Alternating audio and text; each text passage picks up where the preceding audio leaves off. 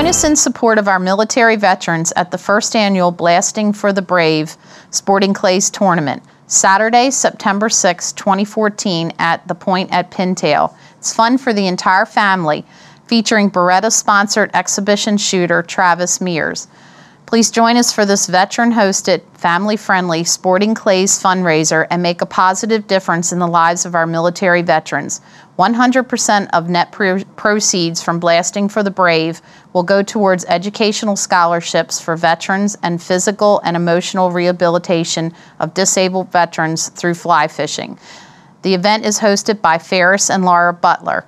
During the, during the day, there will be light breakfast, a catered lunch, chainsaw carving, silent auction, pond fishing, moon bounce, face painting, shooting games, specialty food vendors, and door prizes. The event will be hosted at the Point at Pintail, which is located at 511 Pintail Point Farm Lane in Queenstown, Maryland. You can pre-register for $90, register at the event for 100. If you're a non-shooter, it's $25 and children under 12 it's $10. 100% of the proceeds will benefit the Pat Tillman Foundation and Healing Waters Fly Fishing.